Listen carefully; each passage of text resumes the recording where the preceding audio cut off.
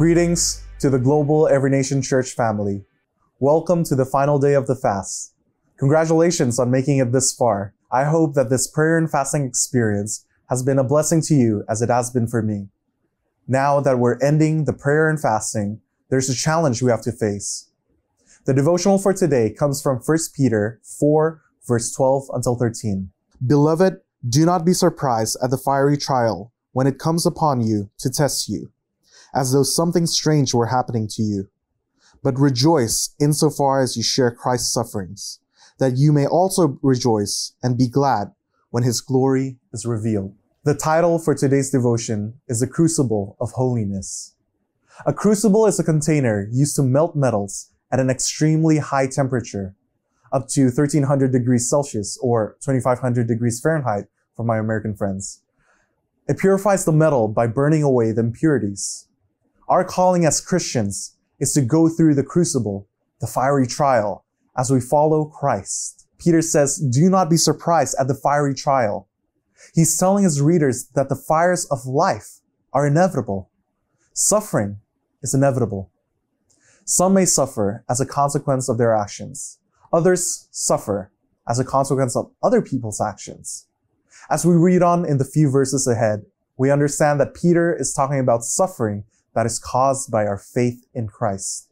Undeserved, unfair, yet inevitable. Our natural tendency as humans is to avoid suffering. We hate pain. Yet Peter is saying that we shouldn't be surprised if we face suffering as followers of Christ. It's nothing strange. Moreover, Peter is not only saying that we should expect suffering, he says that we should rejoice in suffering. Can you imagine? How can you rejoice in pain? As we suffer as Christians, we are sharing in Christ's suffering at the cross. Peter says that this is a source of joy. It's because in Christ, suffering becomes a means to an end. It becomes a pathway to the revelation of God's glory. When we take suffering out of the equation of a Christian, we are left with impurities and defects.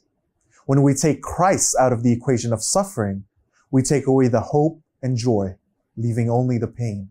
Our calling is to embrace the crucible, rejoice in suffering, and find God's glory in the midst of it. Now, as we conclude this prayer and fasting, let us remember that this is our calling. Our calling is to follow Christ even through the fiery trials. Jesus suffered and died to take away the sting of suffering. On that cross, Jesus broke the power of death so that we have nothing to fear when we suffer for his sake. I remember being backstage in ENC Philippines Unashamed Campus Conference back in 2017. We were in a huddle to brief about the next session where we would invite everyone to pray for countries where Christians are being persecuted. One pastor from one of these nations spoke up and said something that I would never forget. He said, please don't pray that our persecution will stop. Pray that through our suffering, Christ's name will be glorified. This is the reason for joy. Jesus suffered and died so that we can suffer yet live. As we share and partake in his suffering, brothers and sisters, know that we are sharing and partaking in his resurrection. Let's pray. Lord, we thank you for my brothers and sisters all around the world. Lord, you see their sufferings. You see the fiery trials that they have to go through. But we believe, Lord, that you're using this as a crucible of holiness.